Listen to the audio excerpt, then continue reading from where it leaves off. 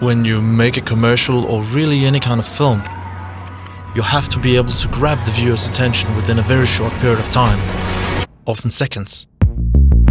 And in my opinion, sound is the single most important way to do that. I think that the most common argument when making film is that sound and music is 51% of the final experience, and I totally agree with that. My name is Rasmus Pilgaard, and I'm a film director at M2 Film in Denmark. And for more than eight years, I've directed commercials for some of our biggest clients.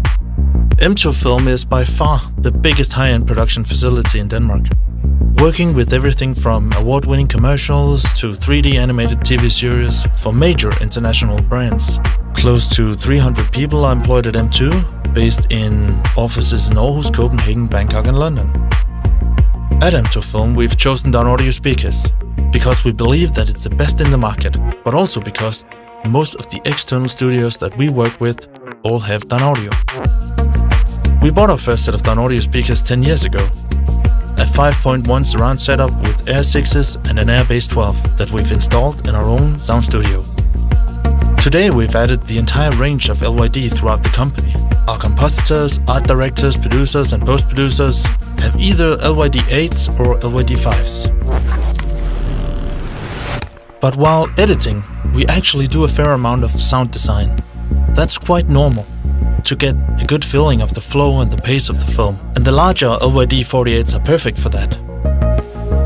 It's a tool. It's like when I'm working with a color artist, they will always have a lot of different waveforms, scopes, and even a very expensive high-end video monitor.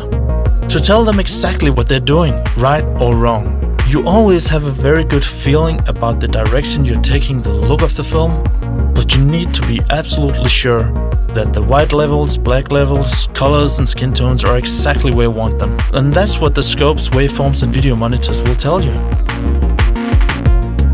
It's the same with audio. I need to be absolutely sure that what I'm listening to in the edit, the grading session, or even at home is the exact same sound image as what we made in the sound studio. We cannot control the way our films are viewed and listened to.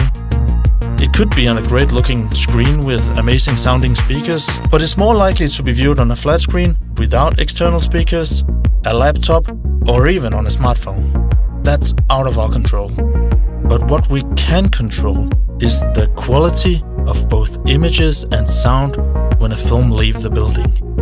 It has to live up to the world-class standard that we have here at M2 Film.